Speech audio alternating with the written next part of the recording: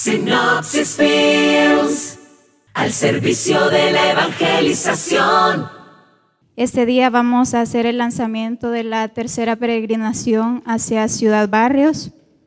En la mesa presiden el cardenal Gregorio Rosa Chávez, obispo auxiliar de San Salvador, el padre Santos Belisario Hernández del Comité Ejecutivo de la Peregrinación, Monseñor Oswaldo Escobar, obispo de la diócesis de Chalatenango, también nos acompaña el doctor Benjamín Ruiz Rodas, presidente de la Cruz Roja. Para dar inicio a esta conferencia de prensa, vamos a escuchar las palabras del cardenal Gregorio Rosa Chávez. Buenos días, amigos y amigas aquí presentes y quienes nos ven en todo el país y nos oyen en todo el país. Estamos en un día importantísimo. Arrancamos ya hacia Ciudad Barrios por tercera vez. Pero hoy con un santo, San Óscar Arnulfo Romero le llamamos nosotros semilla, raíz y fruto de esta tierra. Será una caminata muy ecológica la que este año vamos a hacer. Una peregrinación que irá dejando en el camino mucha esperanza. Es hermoso ver cada día a la gente caminando, caminando feliz y esperanzada, soñando un futuro diferente.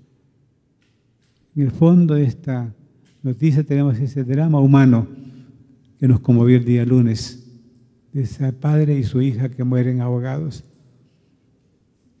Un drama que el Papa mismo lo ha conmovido y él se ha pronunciado. Quiera Dios que podamos esta mañana tener la esperanza de que este hecho tan doloroso abra un nuevo enfoque al drama de los migrantes. Nosotros somos peregrinos hacia Ciudad Barrios, pero de otra manera, buscando una fuente de inspiración, buscando un modelo de vida, buscando un intercesor, buscando un maestro que nos enseñe cómo vivir como ciudadanos y como cristianos. Hay cosas nuevas en esta mañana para ustedes y vamos a compartirlas en unos pocos minutos. Le damos la bienvenida y le agradecemos su presencia entre nosotros en este día en que vamos a conocer la tercera peregrinación hacia la cuna del profeta. Gritábamos tantas veces el primer año cuál es la meta y respondíamos la cuna del profeta. Es la cuna del santo también. Así que Gracias por estar acá con nosotros esta mañana para llevar al país muy buenas noticias. Bienvenidos y bienvenidas. A continuación, el Padre Santos Belisario Hernández dará lectura al comunicado de prensa. Buenos días. Tercera peregrinación a Ciudad Barrios, San Óscar Romero, semilla, raíz y fruto de esta tierra. En el marco del primer año de la canonización de San Óscar Arnulfo Romero, el día jueves 1, viernes 2 y sábado 3 de agosto, se llevará a cabo la tercera peregrinación del camino de Monseñor Romero, que este año lleva por nombre San Óscar Romero, semilla, raíz y fruto de esta tierra. Este año, la peregrinación se realiza con el objetivo de celebrar el primer año de la canonización de San Óscar Romero, pedir por la paz en El Salvador y crear conciencia y fomentar el cuidado de la casa común. Como una acción concreta, se donarán árboles para reforestar el camino de Monseñor Romero y de esta manera dejar un legado para las futuras generaciones. La iglesia en El Salvador se complace en invitar a todos a participar en esta gran fiesta que es un signo de esperanza, unidad, reconciliación y ahora de cuido al medio ambiente, siguiendo el testimonio de San Óscar Romero. La peregrinación estará acompañada de tres signos que van a guiarla. La cruz peregrina, la imagen de San Óscar Romero y la imagen de Nuestra Señora, Reina de la Paz. Dicha expresión de fe se va a realizar en tres etapas. Recorrido del jueves 1 de agosto. El día, el día jueves 1 de agosto se realizará un acto de envío presidido por el señor arzobispo de San Salvador, Monseñor José Luis Escobar Alas, en la cripta de la Catedral Metropolitana a las 5 de la mañana. Con dicho acto se dará inicio a la peregrinación como primer punto hacia la parroquia San José el Espino. Por la tarde se desarrollará un acto cultural pasando por Cojutepeque y luego llegando a San Rafael Cedros. Para dar cierre el primer día de la peregrinación, el cardenal Gregorio Rosa Chávez presidirá la misa en Apastepeque, junto al señor obispo de la diócesis de San Vicente, Monseñor Elías Rauda, y el señor obispo de la diócesis de Zacatecoluca, Monseñor Elías Bolaños. El recorrido del viernes 2 de agosto, la peregrinación comenzará con la oración que se hace por la mañana en Apastepeque para recorrer hacia el desvío de Santa Clara desde ahí se van a trasladar los peregrinos en autobús hacia el, triunfo, que este año es un nuevo pueblo que vamos a visitar. Desde el triunfo se va a peregrinar hacia Moncagua para participar en la celebración de la Santa Misa presidida por el cardenal Gregorio Rosa Chávez y el señor obispo de San Miguel, Monseñor Fabio Colindres. Contarles que eh, simultáneamente ese día estará saliendo la peregrinación de, también de la Catedral de Santiago de María rumbo al triunfo y también esperamos de San Miguel, de la Catedral de San Miguel, hacia el de Pío de Moncagua para llegar juntos a ese pueblo de Moncagua. Posteriormente, este segundo día, nos trasladaremos hacia Chapeltique, donde se va a pasar la noche en el recorrido del sábado 3 de agosto. Dará inicio siempre con la oración en la mañana. La salida está estipulada para las 6 de la mañana, saliendo de Chapeltique y realizar el último tramo de la peregrinación rumbo a Ciudad Barrios, la cuna de nuestro santo. Ahí se va a realizar como cierre la Santa Misa que se va a celebrar en la parroquia San Óscar Arnulfo Romero, obispo y mártir de la ciudad de Ciudad Barrios a las 2 de la tarde. Durante la peregrinación tendremos el apoyo de la Policía Nacional Civil, la Cruz Roja Salvadoreña y de las parroquias Oasis que recibirán y darán alojamiento a los peregrinos.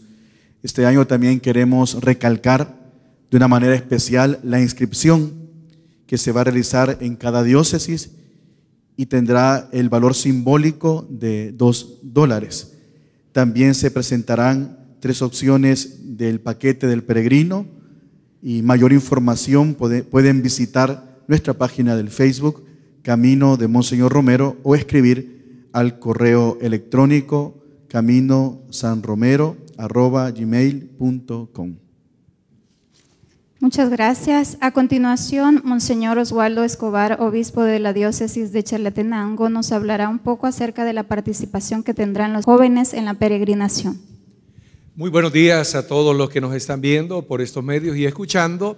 Eh, soy Monseñor Osvaldo, como ya eh, han dicho, y estoy aquí porque a nivel de la conferencia episcopal soy el obispo encargado de los jóvenes. Así que eh, quiero convocar también eh, por este medio a todos los jóvenes desde las ocho diócesis y las nueve con el ordinariato militar para que el 1, 2 y 3 de agosto recuerden que tenemos esta cita allá en la peregrinación saliendo desde San Salvador, como ya se ha dicho.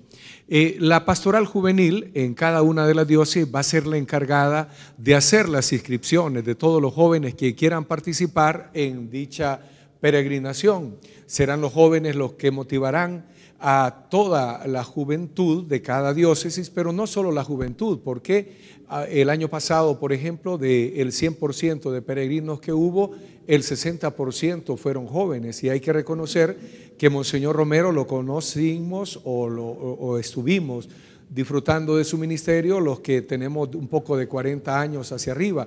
Entonces, hay mucha gente de aquel tiempo, eh, de los años que eran jóvenes o niños en los años 80, que también quiere participar en la caminata. Y por eso los jóvenes, la pastoral juvenil diocesana de cada diócesis, va a ser la encargada de motivar especialmente a los jóvenes, por supuesto, pero junto a ellos a todos, hombres y mujeres que quieran unirse con nosotros. Y como ya se ha dicho, este año queremos que vayan, cada año va creciendo el número de participantes y este año queremos que vayan más, porque es la primera vez, como ya decía su eminencia, que vamos a hacer la peregrinación, siendo San Oscar Romero ya santo y por otro lado, pues hay tantas cosas que celebrar y tantas cosas también por las cuales tenemos que ponernos en oración, porque esto es lo hermoso de cuando vamos caminando en esa peregrinación, que vamos orando, cantando y especialmente llevando en nuestro corazón todas las alegrías y los sufrimientos de este pueblo. El otro año también Monseñor Romero cumpliría sus 50 años de haber sido consagrado obispo. Pero otra cosa importante que se une a las alegrías es de que su eminencia, el cardenal Rosa Chávez, el otro año en enero también cumple 50 años de sacerdocio. Así que estamos con muchos motivos para hacer una peregrinación muy alegre. Así que toda juventud y toda la población salvadoreña, les recordamos, el 1 y 2, 1, 2 y 3 de agosto no es para irse a pasear o a la playa, sino que tenemos esa gran cita en esta magna peregrinación donde vamos a demostrar el fervor de los salvadoreños hacia Dios y por otro lado el gran amor que le tenemos a nuestro querido mártir y profeta San Óscar Arnulfo Romero. Gracias. Muchas gracias, Monseñor. A continuación, la hermana Marta Dolores Castro de la Comisión de Espiritualidad nos va a hablar un poco acerca de la preparación para el antes, durante y después de la peregrinación. Qué alegría y qué gozo poder compartir esta experiencia de lo que es la peregrinación. Y pues como ya lo decían, pues acá los señores obispos, el Padre, es importante en este recorrido eh, la preparación antes, durante y después. Y esto marca también un caminar y yo creo que lo primero para invitar a cada uno de ustedes que hoy nos están viendo es la preparación con la oración. La oración de preparación. Luego también como comisión vamos a estar haciendo llegar por diferentes medios lo que es la catequesis de preparación también y asimismo también una hora santa en la que podamos ser partícipes todos de poder orar y prepararnos para este momento tan especial que estamos pues próximamente viviendo. Y es importante ante todo también decirle al pueblo de Dios que el peregrinar también implica eh, el también dar un parte de nosotros, el salir de nosotros mismos. Y esta experiencia va a marcar también el camino, el testimonio de todos y cada uno de nosotros sobre todo también que durante el recorrido tendremos la oportunidad, oportunidad que estés en algún momento también de podernos acercar, confesarnos también. Ahí van a ir los sacerdotes, primero Dios, en esta peregrinación, para escuchar también a todos los peregrinos que quieran acercarse a estos momentos. Entonces, es una experiencia linda, hermosa, sobre todo para profundizar también en la vida y el legado de Monseñor Romero, que este es el centro también de este peregrinar. Somos peregrinos como Monseñor Romero también se sintió peregrino. Él decía, soy un peregrino también de esta tierra. Y asimismo, pues la invitación para todos a que de verdad, desde ya, oremos por esta peregrinación, vivamos también los diferentes momentos que se nos van a ir pidiendo y seamos parte también de este peregrinar. Gracias. A continuación, el doctor Benjamín Rodas, presidente de Cruz Roja, nos brindará unas palabras acerca de la asistencia que se brindará durante la peregrinación. Realmente es un evento muy especial, único, cada uno de ellos. Los que ya hicimos dos veces la primera parte, estamos tan convencidos y tan felices y tan contentos de poderlo haber hecho para hacerlo nuevamente. Así que desde ya invitamos a todos a que se vengan a inscribir. Se va a hacer por parte, como explicó muy bien el sacerdote, y bien se puede hacer una parte o toda, toda junta o como quiera que sea, pero se puede y facilita para todos. Cruz Roja Salvadoreña como institución de servicio, ahí está a las órdenes para poder servir como lo ha hecho en los años anteriores, para los distintos problemas que puedan ocurrir, especialmente los golpes de calor, por la sudoración exagerada, que desmayo, que decaimiento, que agotamiento, falta de alimento o lo que sea, lesiones en los en los pies, en las, eh, en las piernas, lo que sea, golpes en la rodilla, etcétera. Estamos ahí pues dispuestos a tener, estamos con ambulancias y el escuadrón de las motocicletas que irán también a, recorriendo todo el, el número de peregrinos como también vamos a alertar a todas las seccionales que están en el distinto, en, toda la, la trayectoria, comenzando la seccional nuestra en Soyapango, luego Cojutepeque, San Vicente, llegando a las Mercedes Sumaña, Berlín, Santiago de María, Guadalupe, aquellas de Usulután y estas de San Miguel, hasta llegar también hasta Ciudad Barrios. Es decir, vamos, ellas van monitorizando, salen de su ciudad a hacer el servicio en la Panamericana, en donde vamos a ir pasando todos los, los fieles que vamos en, la ruta de la cuna al profeta, allá en Ciudad, llegando a Ciudad Barrios. Una atenta invitación para todos, especialmente los jóvenes Aquí queremos verlo con los jóvenes, qué vamos a hacer. Si cree que vamos muy despacio, pues estamos pensando hacer un grupo especial de ellos. Así que no, que no, crea que lo vamos a ir con el paso de nosotros ya los adultos. Ellos pueden ir rápido. Vamos a, vamos a platicarlo porque ya, ya tuvimos la primera experiencia. Estamos estudiando todos los detalles que han sucedido en las dos ediciones anteriores, que han sido un éxito, pero pueden ser mejor. Así que en todos estos detalles estamos trabajando. Muchas gracias y una invitación para todos. A continuación, el Padre Santos, Belisario Hernández. Remarcar algunos puntos importantes de esta peregrinación. Uno, que es una peregrinación, la cual se dispone el corazón para poder vivir un acto de, de sacrificio, ofreciendo a Dios por alguna intención. Hay tres intenciones especiales. La primera, pues, eh, celebrar el primer año de canonización de Monseñor Romero. La segunda, pedir siempre por la paz. Eso lo vamos a llevar muy conscientemente. Y la tercera, el cuido de la casa común. Queremos hacer conciencia de la crisis que tenemos ambiental, que de todos es conocida, pero queremos dejar un legado también como, como camino de Monseñor Romero, por lo cual eh, Monseñor Romero tenía homilías hermosas también como la del 11 de diciembre de 1977, donde hablaba que la creación era hermosa y que muchas veces sufría injusticias de parte de nosotros. En ese sentido, queremos dejar un legado en, el camino y es em, la concientización, primero, del cambio climático, de la problemática ambiental, y luego también como un acto concreto, la reforestación, donde vamos a pasar. los actos que vamos a realizar serán de la siguiente manera. A cada pueblo que nosotros lleguemos siempre se entregará la cruz misionera o una placa del recorrido que hemos hecho durante estos años. Y simbólicamente se va a sembrar un árbol en cada lugar donde nosotros lleguemos. Se sembrará un árbol y se repartirá una dotación de árboles a esa parroquia o a esa diócesis para que puedan reforestar. No solamente sembrarlo, sino que cuidarlo, abonarlo, regarlo para que en las próximas peregrinaciones que nosotros podamos realizar, veamos que eso vaya creciendo y, se vaya fomentando pues esta cultura ah, eh, verde, esta cultura del cuidado de la casa común.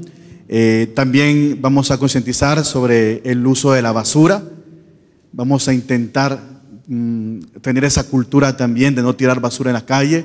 Llevaremos un pequeño comando que le hemos llamado Comando Laudato Si, por la encíclica del Papa Francisco, que se va a encargar un poquito de, dejar limpio en todos los lugares y también de concientizar en este sentido. Con la alimentación queremos evitar también eh, los utensilios desechables. Por eso nuestra propuesta para este año, podrán observar por ahí, es la utilización de cada peregrino de un plato y de una taza que el peregrino va a llevar en su recorrido también es sentido de concientizarnos para el cuidado de la naturaleza. Ahí lo podrán eh, observar esas tazas y esos, esos platos que vendrán en el paquete del peregrino. Entonces esa información se estará subiendo en el Facebook y tratando de, promover eh, esa cultura del cuido de la casa común. Esas tres cosas quería remarcar, que es una peregrinación, no es un paseo, no es una excursión y que debemos de ir en ese sentido de sacrificio, en ese sentido de solidaridad. Quiero agradecer y felicitar a todos los, eh, los pueblos que hemos visitado en las anteriores caminatas, en las anteriores peregrinaciones, que han sido una muestra de solidaridad increíble. La gente saliendo a darnos, ánimo, a darnos agua, refrescos, dulces, eh, un abrazo o también alguna alimentación. De verdad, muchísimas gracias y lo invitamos a que puedan continuar con esa solidaridad, que sea un pueblo que se pone de pie, que vence todo, todo tipo de miedos y que camina hacia la cuna del santo San Oscar Arnulfo Romero. Y ese aspecto eh, ecológico o ambientalista que queremos dar, invitarlos a todos a que desde ya hagan conciencia también del cuidado que necesita nuestra casa común. La ruta es de la siguiente manera. Comenzamos, la convocatoria está para las 5 de la mañana en la cripta de eh, la Catedral de San Salvador. Ahí habrá, un acto de envío. Esperamos a Monseñor Escobar, al cardenal. El año pasado nos acompañó el obispo de Santa Ana, que esto es nacional. Eh, también esperamos la presencia del nuncio apostólico y de muchos sacerdotes y peregrinos. Salimos de la cripta a las 5 de la, 6 de la mañana, pasamos por la Juan Pablo II, Soyapango, Ilopango, San Martín, eh, llegando a la Panamericana y nos vamos eh, hacia el kilómetro 22-23, donde se encuentra la parroquia San José el Espino. Ahí vamos a hacer un, Vamos a parar un momento para poder tomar unos alimentos en la parroquia San José el Espino. Vamos a seguir caminando hacia la entrada de Cojutepeque, donde está el arco. Ahí también la, habrán parroquias que nos van a esperar para un pequeño receso. Se van a abordar unos autobuses hacia la entrada de San Rafael Cedros, en la cual los peregrinos bajarán y caminaremos hacia el parque, donde tendremos un encuentro cultural y religioso también con la gente de San Rafael, que ha sido extraordinaria en estas peregrinaciones, igual que San José del Espino y todas las parroquias que hemos visitado. Al terminar ahí en eh, este acto en San Rafael, también cenaremos en San Rafael Cedros. Luego abordaremos buses hacia Apastepeque. Esperamos llegar ahí, a Apastepeque, también con todos los peregrinos, directamente a la parroquia Santiago Apóstol de Apastepeque, donde se va a realizar la Eucaristía, con la cual vamos a cerrar esa primera jornada de oración por la paz, de agradecimiento por eh, la canonización de Monseñor Romero y la concientización del cuidado de la casa común. El día 2, ahí vamos a dormir en Apastepeque. El día 2 saldremos de Apastepeque eh, a pie rumbo al desvío de las cruzadillas. Nos tomamos nuevamente la Panamericana hacia Em, el desvío de Santa Clara. Ahí en el desvío de Santa Clara estarán algunos autobuses que vamos a, tomar y nos vamos a dirigir unos 48 kilómetros hacia el triunfo. En el triunfo bajaremos a los peregrinos, iremos al pueblo, ahí tendremos otro acto eh, cultural religioso, donde se hará la entrega simbólica de los árboles, donde se sembrará un árbol eh, y de ahí se va a almorzar. Esperamos Esperamos que desde la Catedral de Santiago de María, ese segundo día se nos una toda la diócesis en el triunfo. Entonces la peregrinación va a ser como un caudal de un río, momentos que vendrán muy frondosos, momentos también que bajará, pero ahí se nos va a ir uniendo las diócesis, también Zacatecoluca anteriormente. Eh, saldremos en autobús del triunfo hacia el desvío de Moncagua. Ahí en el desvío de Moncagua bajaremos con los peregrinos y nos vamos a ir a pie hacia el pueblo de Moncagua. Ahí esperamos a la diócesis de San Miguel, que se nos va a unir también con sus peregrinos para ir un, un solo pueblo hacia Moncagua, donde tendremos la Eucaristía y el acto de encuentro y de bienvenida de los peregrinos. Y allí en Moncagua también será la cena. Al terminar estas actividades, abordaremos eh, autobuses que nos llevarán hacia Chapeltique. Ahí en Chapeltique habrá un acto de recibimiento de los peregrinos, de bienvenida, y también eh, se va a pasar la noche en Chapeltique. Eh, hermosísimos estos pueblos, nos han atendido de la mejor manera, así que también agradecerles públicamente y felicitarlos y animarlos que este año también sea eh, de la mejor manera. Al terminar en Chapeltique, el día 3, vamos a hacer el último recorrido, 17, 18 kilómetros más o menos hacia eh, Ciudad Barrios.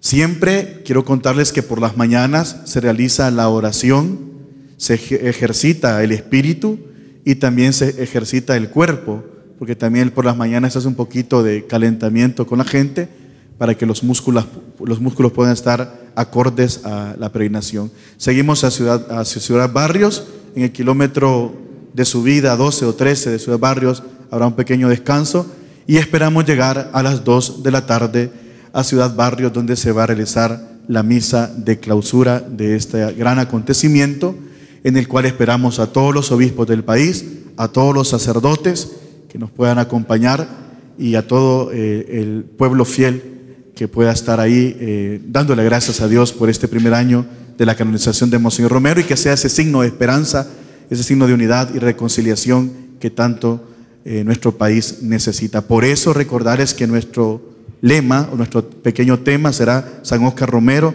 semilla, raíz y fruto de esta tierra, cuidando pues la casa común en ese sentido también de protección y concientización de eh, la, tierra, de, nuestro ambiente.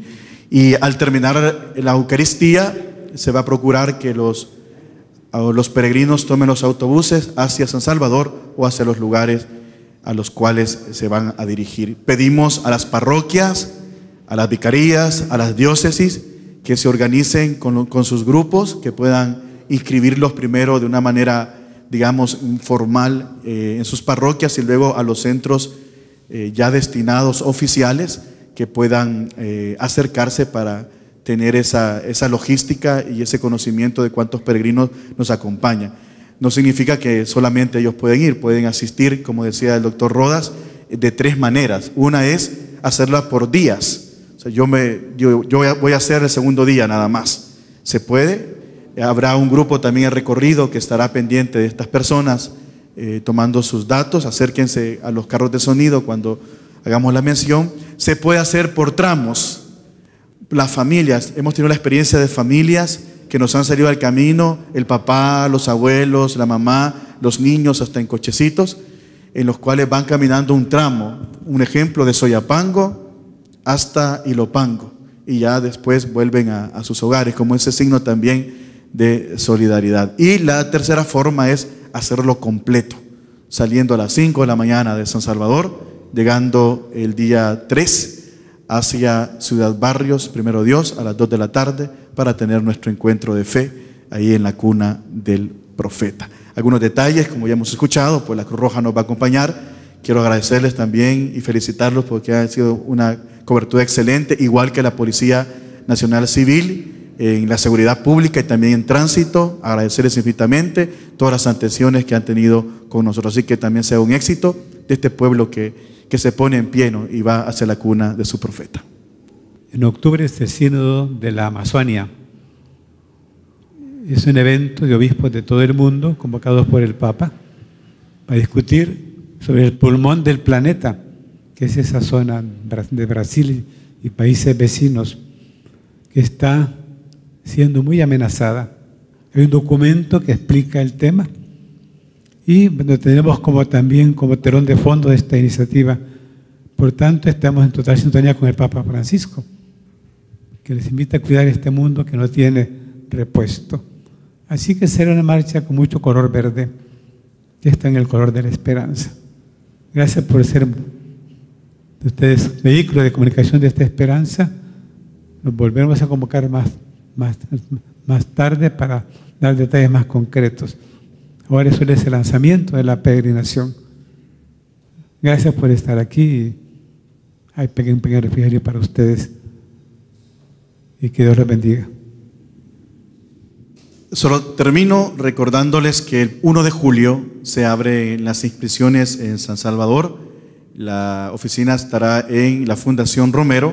Hay un teléfono también eh, que vamos a proporcionarles para que ustedes nos ayuden a eh, transmitir esta información a todas las, las personas.